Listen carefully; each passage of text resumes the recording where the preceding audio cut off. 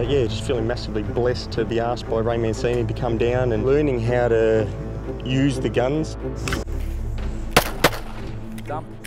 So not the first time I've been down in a range, but uh, definitely um, the most uh, safety conscious and proficient um, instructor that I've had. Fire. Good.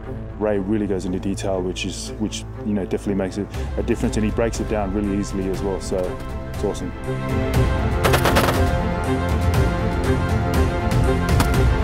Explaining things as a someone who hasn't done much shooting, he goes through the paces and, and basically makes it so what we're doing is extremely safe. That's a big aspect of it. Uh, and so by the end of the day, yeah, I'm feeling very confident in, in what we're doing, so it's been great.